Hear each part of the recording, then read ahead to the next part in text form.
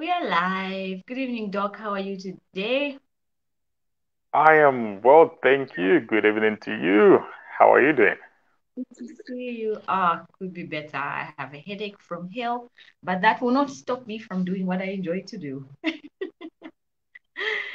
I, I, I just I just I just love the tenacity, you know, you're ever pushing and in just how you push you challenge us to also do better.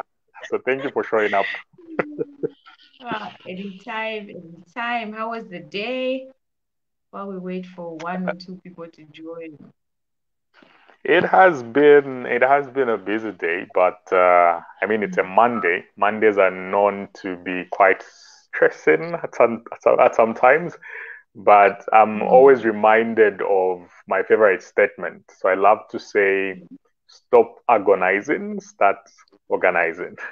Organizing. So That is yeah, so at some point during the day, I found myself literally being a victim of agonizing. agonizing, and I was like, "Come on, stop Yeah, agonizing, and you know, start yeah, organizing." Yeah, yeah. And that's the thinking behind Mindful Mondays because, you know, Monday is high potential stress day. And I think it's just good to come back, yeah, and touch Yeah, base and, and see what's going on mentally, emotionally, and see if we can true, unpack some helpful tidbits for people and to help That's them on true. their journeys. Yeah. That's good. So yeah, we'll get right into it.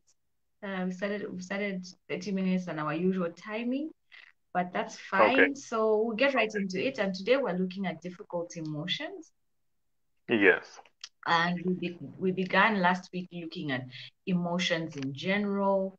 We we talked about positive emotions, we talked about negative emotions, we, we talked about how emotions are there to serve a purpose to show us what's going on on the inside On the which I thought inside. really Yeah. usual. Yeah, uh, Yeah. I, I thoroughly enjoyed last week's session.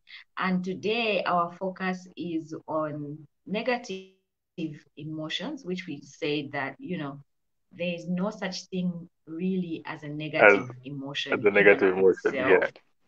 Yeah. Yeah, but uh, these emotions come to to serve as a compass of what's going on, on the inside, and it's how we how we respond and how we express those. So we have a few emotions that we're going to we're going to target specifically tonight, and I'm excited to hmm get into them because I think I have experienced some of these personally, and I'm excited to talk about Okay. what they are exactly when we think about a definition and uh, Yeah. what how do we manage them. So we'll jump right into it and we'll get into the emotion of, of anger. What is anger and how, Okay. how is it distinguished from, from other emotions? All right. So as we are getting into that, I was just trying to share uh, this very live on my page. I just Yes, realized I haven't. you didn't do that. yeah. Yes, you do that. Yeah. Just a doing that in a second. Hmm. Let me also see what's right. going on here. Okay. Yes. So that's a good place to start from because, um, especially emotions such as anger, we have a number of things attached to to anger. Things to do with Hmm. aggression. You know, there are times that most people are angry, and the thing that is associated to anger is really um, much to do with just being physical, you know, being annoyed, being aggressive, and we look at it from the negative perspective because it is usually expressed in a negative way. So, Hmm. anger is one of those emotions that we would literally describe as a transformative emotion. Transformative Hmm. emotion in the sense that it aids us or helps us to get transformed. There's a Nigerian motivational speaker. He was called King something. I've really forgotten. And Yeah. he would literally say that if you are not angry with how you with how your life is, you will not have the mm. courage to change it.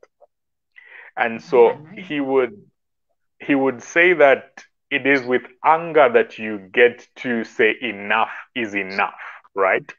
So he was bringing it from that perspective that if you are not really angry about your situation, you are likely to remain the hmm. same. It is only those people that get to feel this anger and say, okay, I think I'm done with this kind of, you know, economic crisis. I think I'm done with this, you know, a kind of life that I'm living. And that basically points to the fact that anger has got a particular purpose. And mm. the purpose in itself is what I'm trying to bring out is that it gives us this opportunity to transform, to evolve, to change. Mm. And as much as it is associated with, with, with aggression, and because it is associated with aggression, most times people try to resist.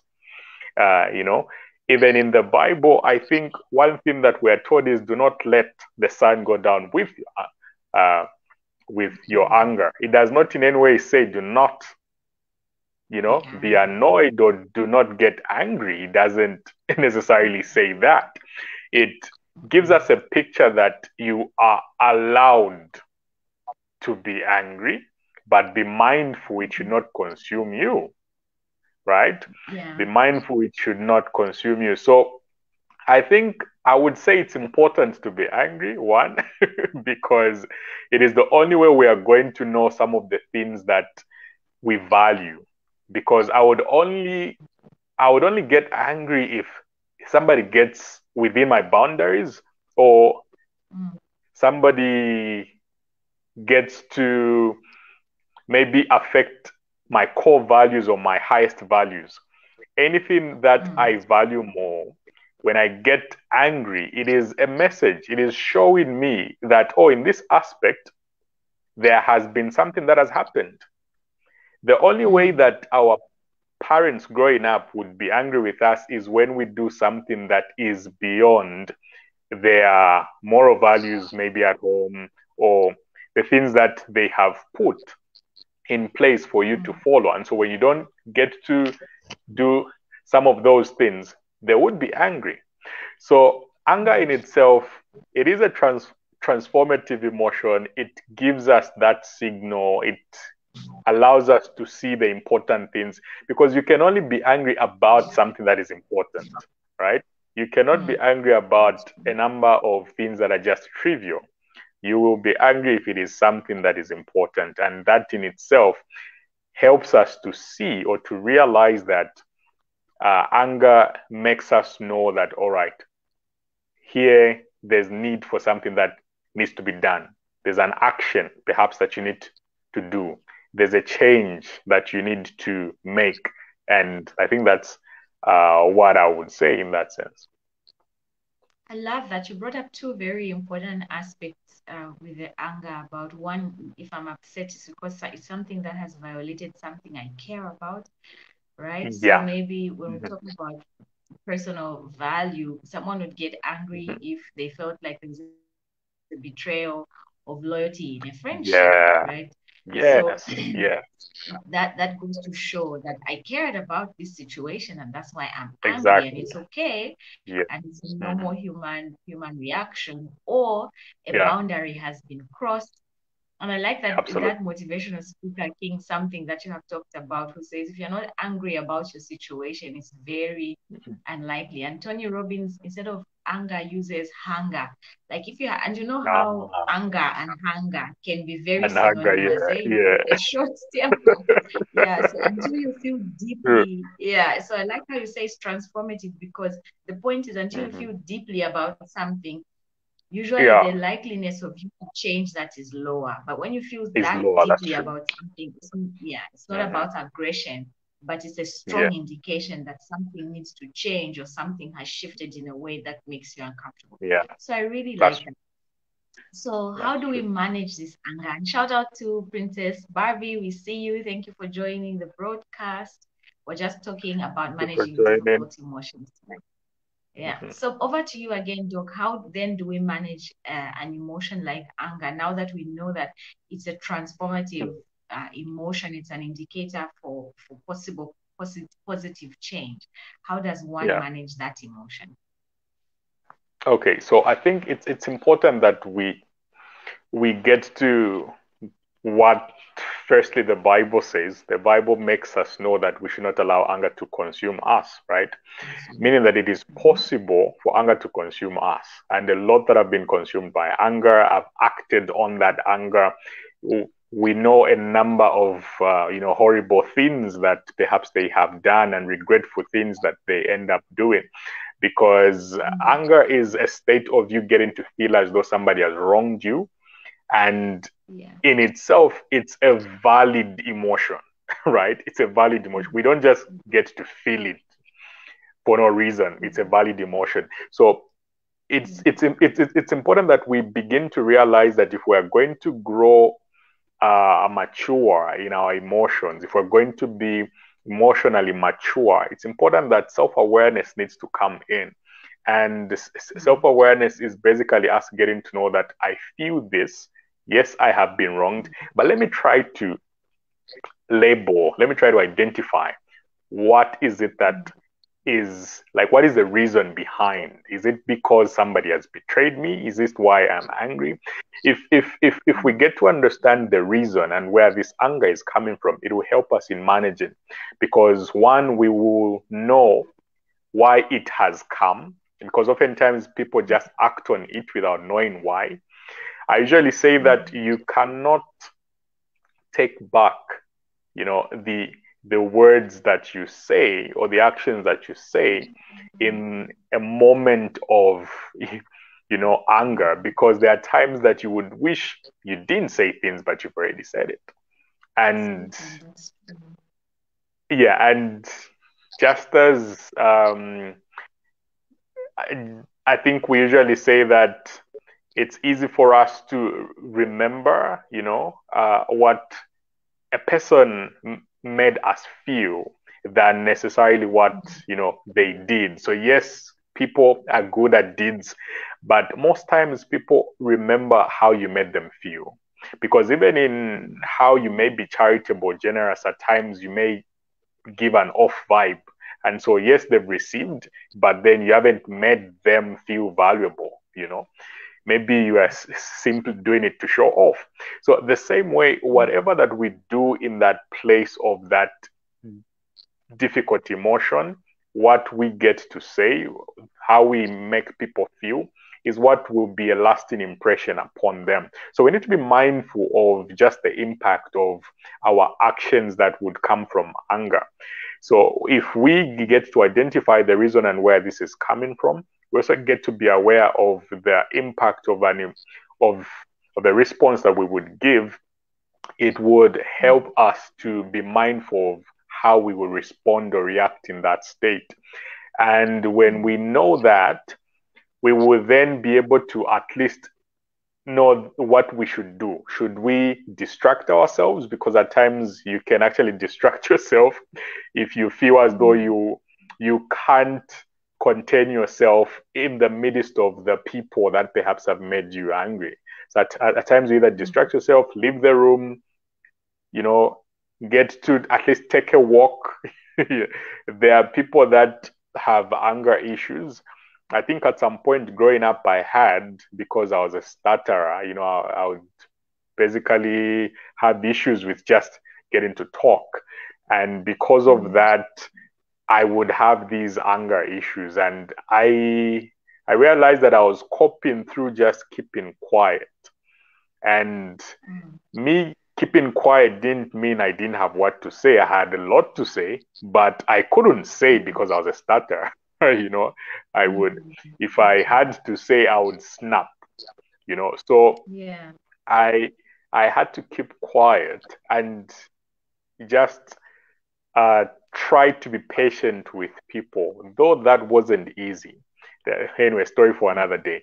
So, um, what we need to know is that we need to distract ourselves or find something that we can do that can keep us away from exploding because a number of people explode. This is why I was saying that anger is usually known for aggression and all these things.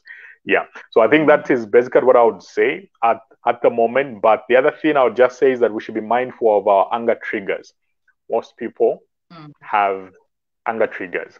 And, you know, mm. there are some people, it could be in your social circle or even at home, you know that there are mm. some things you never say because yeah. they are likely to respond in a particular way. It could be at work. You understand that mm, there are some areas you don't touch. There are some things you don't joke about because these people, um, this person may be triggered and they would end up, you know, uh, uh, exploding or giving a particular attitude that you know would not be great for everyone. So it's also important that we get to know some of those triggers personally because it will help us to just uh, be mindful in those times when we need to um, avoid the different reactions that we're likely to have. Lovely. I like that. Doc, I, I, in just listening to you, where do we draw the line, therefore, between mm-hmm. suppressing mm-hmm. the anger? Because last week yeah. we had gotten into so a lot of males struggle with emotional maturity because of suppressing. And I think anger yeah. is one of the emotions where not just men, but women as well, were very susceptible to suppressing that emotion. Like you have talked about, you're in a situation and because you don't want to explode, you you take a walk to distract yourself. But what happens when you have cooled down? Do you just decide? And I think a lot of people uh, struggle with this because now when they've cooled down, they've lost that courage that comes with the anger to actually address the problem.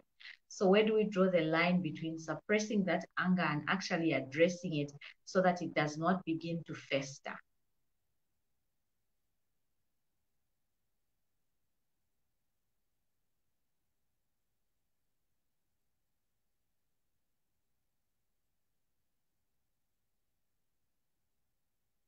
I'm not sure if it's me or a Doc who is muted. Uh, it's Doc. Okay, so we we just lost Dr. Kadochi there briefly. I'm sure he will be back. Uh, today we're looking at managing difficult emotions. Last week we began talking about emotions in general. We talked about you know positive emotions, negative emotions. We talked about how um, negative emotions specifically because that's what we're talking about tonight are not in and of themselves feelings that are negative, but emotions always serve as um, a compass for what's going on on the inside. And they're not there to consume or to to do us harm but the idea is if they're managed right they can do what they were intended to do. And so tonight we got a few a few emotions from from our reading, which Doc is a part of, and we've been reading The Mountain Is You. And there's a number of emotions that are, are, are quote unquote difficult emotions, like which one of which we have already looked at just this evening, which is anger, and Doc was just explaining to us that anger can be a very transformative emotion because it points to us the fact that there's something that we care about that has been affected negatively or a boundary has been crossed. And we went on to talk about how um, sometimes this can be a loyalty that is that is betrayed, or like we have talked about a boundary that has been crossed. So a way to manage that is to not let, he referred us to the Bible and he said we should not let um, the emotion of anger consume us, but rather it is something that is in our control uh, to manage. And we were just, before Doc uh, got cut off from the live, he was explaining how I was asking the question about how do we draw the line between suppressing an emotion because I notice that with anger, we explode because there's a certain um, courage that comes with it when you're feeling angry because there's such a heavy emotion, we tend to explode in speaking. But if you do take a break, like Doc, Doc talks about, take a walk, get a distraction away from that emotion until you have calmed down. So I was asking Doc, where do we draw the line between um, suppressing the emotion and um, managing it. Hi, Doc. Welcome back. Thank you, sir, about that. No worries. Take issues. Okay. Take Did issues, you get my last issues. question? Uh, I I got the first part of it, but not uh, not entirely. But I have an idea of where you are driving to. But you can still ask. Yeah. Okay. Yeah. So I had just asked, saying, where do we draw the line between suppressing emotion and actually addressing the trigger that has that has brought the anger? So if someone has offended me and crossed the boundary, just as an example, and yeah. I decide to distract by taking a walk, now, because the courage that comes with that explosive emotion of anger has died down, some people tend yeah. to suppress that emotion. So the question yeah. is, where do we draw the balance between not suppressing emotion and dealing with that boundary that has either been trampled on or the thing that I care about that has been offended?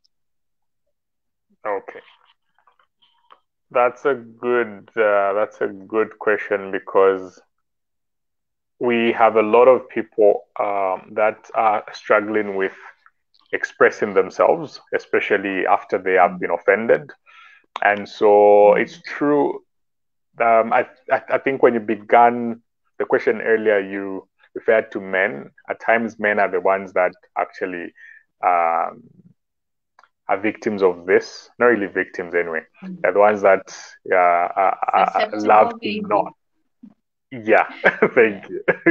They're the ones that would would not find themselves expressing, but women as well don't get to uh, express, especially those that are in situations like uh, codependency, and they they they do not want to offend the partner, you know, just so that they keep the peace, you know, in the relationship and all that. Yeah, so how can how can one manage this? Or how can one just get to work on this? Especially the suppression. The suppression is something that has been there for the longest time especially in africa um, well in asia as well. But it's it's it's it's important that we get to firstly work on that limiting belief that we have carried. I think it's a core belief that we do not have to express ourselves. And that's where it begins from. Most people would say it's an issue with being assertive because we have a lot of people that are not quite assertive. And some have all these other different excuses. But I think it begins from the, the belief, you as a person, valuing your voice. But at the same time, as you are valuing your voice, you have to value your approach uh, or rather you have to be mindful of your approach because it is one thing to bring up a matter it is another uh, to handle the matter. So you're bringing it up but are you yeah. bringing it up to handle it? Or are you simply bringing it up to just air things out? So it's it's important that we understand that well, what we need to have here is not necessarily an argument but a conversation. And how a conversation mm-hmm. would hold would determine how you raise or bring up this very matter. So in, in, in, in how you bring up the matter, that's really uh, uh, what determines the flow or just how receptive the person that you are about to talk to you know will be able to uh, uh be so i usually say that to be um, i usually say offense yeah. is an event offended yeah. is a decision right mm. so we will be off we will meet offense you know mm. during the day during the week people will in their own way maybe intentionally or unintentionally directly indirectly people will somehow you know be mm. able to bring that offense to us and mm. we getting to be offended is when we now say, ah, that has touched me. you know, so we decide that. And it is important when we decide that, when we realize that, okay, I've been offended, we yeah. should know how to talk about that issue because I'm I'm saying how to talk about it because if we if we are not going to suppress, then we have to express ourselves. So mm. if we express ourselves the right way, if we bring it up the right way, at times you could even be the one that has been offended. But how you bring it out hmm. matters, you know? How you bring it out matters. I'm not saying we should we should be mindful and be as though we're walking, rather stepping on eggshells or anything like that. But it matters for you, or rather to you. It also matters to the other person as well, how you bring it out. So the expression in itself is what I would say we should be very mindful of. But I'm not saying we shouldn't, you know, talk about it. We should talk about it. But how we bring up the matter is what is very much important. We need to, to, to be quite wise, but at the same time, we need to ensure that the person knows that you have been offended.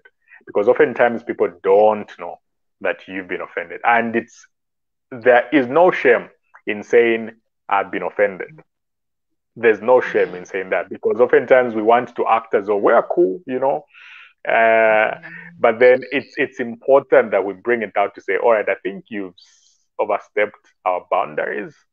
And mm. what you said is not something that I would really want to tolerate. I think it has offended me. So it's important that people get mm. to know that. Yeah. Mm-hmm. Yeah, you remind me of one of my favorite quotes of all time, which I read from Love and Respect uh, mm-hmm. by Dr. Emerson Eggerichs, I think that's yeah. his name. It's like yeah. love and respect the book on marriage. And it talks, there's one quote that I always carry, and it doesn't only apply in marriage, it's in everyday relationships.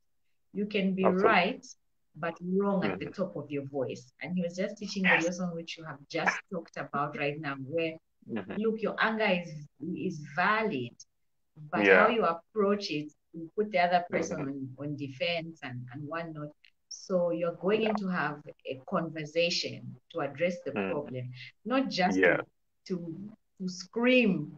Um, yeah. And make them feel bad and guilty. make them feel bad, yeah. So, which is why yeah. it was very important for me to ask that question. In that we, we should always remember that it's it's it's not okay to suppress, but also mm-hmm. we should have the confidence to to address yeah. the issue that that that Absolutely. offends us because that's how we move forward. Yeah, what does that? There's a Bible verse that I think I don't know if it's just something that was said in the book, but it says sin begets sin, right? Oh yeah. So yes, whatever yes, is yes. the thing gives birth after itself. When you when you that's suppress, true. you only give birth to more anger. So more anger, it's just so important to yeah to just to just sit in it, I guess, and then when when you're mm-hmm. done sitting in it, address it so that you can move address forward. It. Because like you had explained, doc, doctor, it's it's anger is a transformative, transformative um, emotion. Looks like yeah. tonight what we had most time for was was anger. we didn't even dive into the other emotions. Perhaps we could adjourn for, for next week uh, and continue with the with the other emotions, but I think we we unpacked a lot on anger tonight. Is is that okay? Yeah, yeah. Yeah. So can you hear me? Hello, can you get sure me? I've lost you there. Yeah, yeah, yeah. I can get you. I think my network as well is not very stable here. Yeah. Okay, okay. Yeah. Yeah, so I can get on you. just anger itself. Yeah. Any last words on on on anger? Okay, so I think it's it's it's important for us to understand that our feeling of anger is valid, yes. However, mm-hmm. It is how we express it that really matters. Mm-hmm. Because, like we have said, it is a transformative emotion, a transformative mm-hmm. uh, uh, uh, uh, feeling. And when we get to feel it, we need to know, or rather, we need to be mindful that whatever action we do in response or reaction is going to be a part of our life. It's going to be a part of our narrative. It's going to be a part of our memories. It's going to be a part of what we would look at. Now, is it something that we would be glad to refer to, or it is something that we would be ashamed to refer to? So, anger in mm-hmm. itself is something that helps us I think most of the times that I am angry at something or someone, though I think anger in itself, I should mention, is not purposed for other people in as much as we make it, mm. uh, in, in, in, in, as much as we project it on other people. It is not really hmm. purpose for other people. It is purpose for us to know that this is what is happening, you know. So if we hmm. if if if we understand it from that perspective, we'll be able to actually know how best to navigate through. There was a time I hmm. think I know where I concluded. there was a time somebody asked me Doc, you're a peaceful person. And I've never seen you angry. yeah. How do you manage times of anger? Because I know. Eh, yeah, the person was like, because I know you all you, you do get angry, but how do you not bring it out? And I was I was like, well, you are right. I, I do get angry. but the thing is I don't hold on to it. I don't really hold on to it. So I I mm. allow myself to to know, or rather, I allow myself to feel it, and mm. I I think I've reached a point where I understand just the repercussions of anger in itself if I was to mm. act on it, and so I would yeah. allow myself to feel it, but if I have the opportunity of uh, making somebody know that they have uh, angered me in a particular way, I would literally mm. have a conversation with them. But in the past, what I would do is that I would understand what that anger entails, and I would mm. literally give the person a distance, you know, because yeah. I wouldn't want to act or say something that I don't mean in that moment when mm. I am, you know, uh, and not fine because it is true mm. that when you are when you when you are angered, you are not okay in the moment. So yeah, yeah. So that's really what uh, I would love us to conclude with uh, on anger. Mm-hmm. It helps us to know ourselves better, but we should know that it is mm. not purposed for the the other person. Mm it just signals and gives us the message that this is what has happened somebody has violated whatever it is uh, somebody or at times it's not even a person it's just situations that would anger us. Yeah. Yeah. Yeah. Thanks a lot doc. Truly appreciate your time. I look forward to our next sit down next week and hopefully we can dive deeper into the into the other emotions other emotions. um, yeah. Well. yeah. Yes, so thanks yes, a lot yes. for tonight. You have a good night thank you so much. week. please do get better. Do get better. I know i know well just do. to get better. Yeah. Do. Thanks a lot. Bye then. All right. All right. Bye-bye